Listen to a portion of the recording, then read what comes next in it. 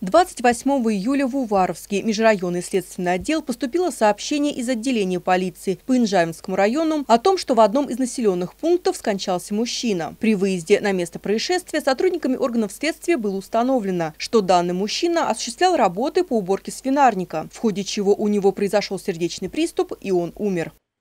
Проверкой установлено, что смерть мужчины не имеет криминального характера. По справке о предварительной причине смерти мужчина скончался от диагноза алкогольная кардиомиопатия. В тот же день произошел еще один трагический случай, но уже на территории Уваровского района. При переброске зерна в ангаре через кирпичную стену для хранения данная кирпичная стена не выдержала давления на нее и рухнула. В результате ее падения пострадал мужчина, который после извлечения его из-под обломков был доставлен в Уваровскую ЦРБ, где впоследствии скончался. В настоящее время назначена судебно-медицинская экспертиза, а также трудовой инспекцией проводится расследование несчастного случая. По итогам проверки будет принято законное обоснованное решение. Ирина Пивоварова, Виктор Викторов для рубрики «В рамках закона».